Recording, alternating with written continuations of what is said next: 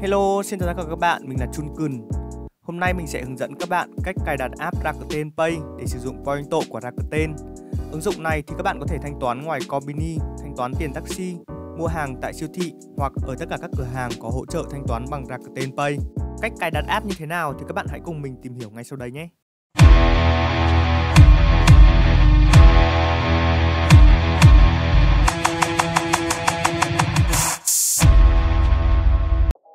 Đầu tiên thì các bạn hãy tải app mang tên là Rakuten Pay.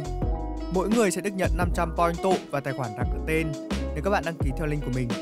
Link tải thì mình có để ở phần mô tả hoặc là phần comment.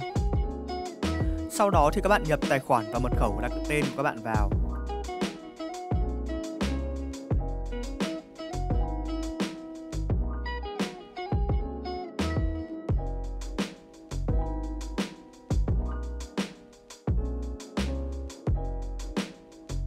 Các bạn bấm vào App Store để tải về.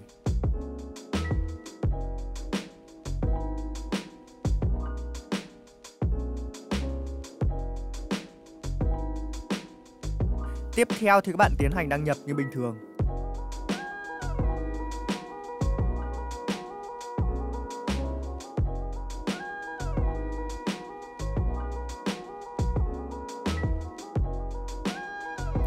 Đến đây thì các bạn bấm vào ô đồng ý. Tại đây thì app đang hỏi bạn có đang dùng số điện thoại mà các bạn đã đăng ký tài khoản Rakuten không. Nếu có thì các bạn chọn hay. Nếu bạn nào không có hoặc đang dùng số điện thoại chỉ nhận được tin nhắn thì hãy đổi số điện thoại trước khi đăng ký cho mình nhé. Bây giờ thì các bạn hãy thực hiện một cuộc gọi tới số đã được chỉ định để xác thực.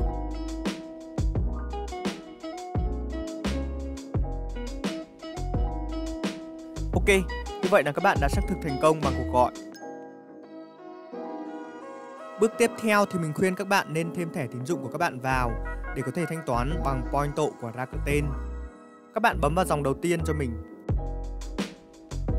Sau đó thì các bạn hãy chọn thẻ mà các bạn muốn sử dụng. Nếu thẻ của các bạn không hiển thị thì các bạn hãy click vào ô dưới để thêm thẻ. Tiếp theo thì các bạn hãy nhập mã bảo mật, bao gồm 3 chữ số ở mặt sau của thẻ. Sau đó thì các bạn bấm vào ô màu đỏ để xác thực 3D CQA. Các bạn nhập mã xác thực vào đây cho mình.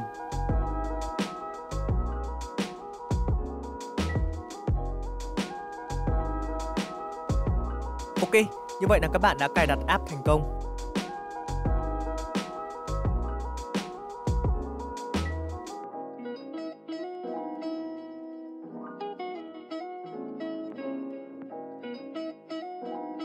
Và bây giờ thì mình sẽ giới thiệu qua cho các bạn về giao diện của app.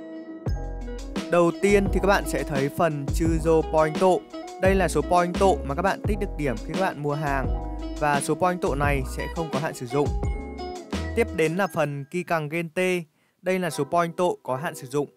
Khi các bạn là người giới thiệu hoặc là người được giới thiệu, đăng ký, SIM hoặc thẻ Rakuten thì các bạn sẽ nhận được số point tội này.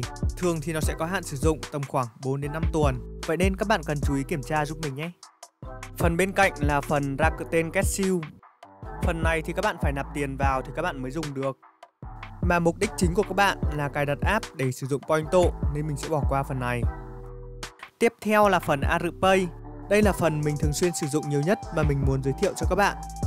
Khi các bạn mua hàng tại các cửa hàng có hỗ trợ thanh toán bằng Rakuten Pay thì các bạn chỉ cần đưa cái mã này cho nhân viên. Sau đó người ta sẽ quét mã và thanh toán là ok. Cũng có nhiều trường hợp thì họ sẽ đưa mã QR cho các bạn. Các bạn chỉ cần quét tại đây. Sau đó nhập số tiền mà các bạn cần trả vào đây là được.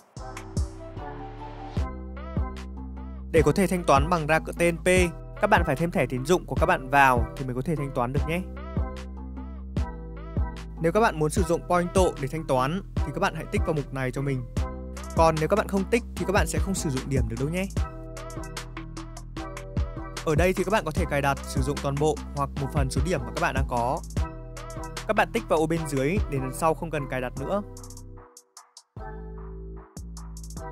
Tiếp theo là phần Rakuten Capsule.